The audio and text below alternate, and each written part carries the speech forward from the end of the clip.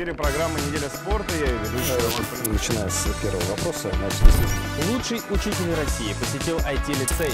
думаю, что самое время и нам тихонечко начинать.